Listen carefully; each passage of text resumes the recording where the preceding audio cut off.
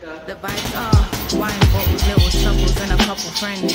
PlayStation, grand theft, that's and then New work, more money than a vacation. You work hard and play hard, I gotta make it make sense. Gotta make arrangements for my young The one baby daddy situation was the old norm. These lot just wanna swipe right and watch you porn, and I'm just trying to build a legacy. Okay, now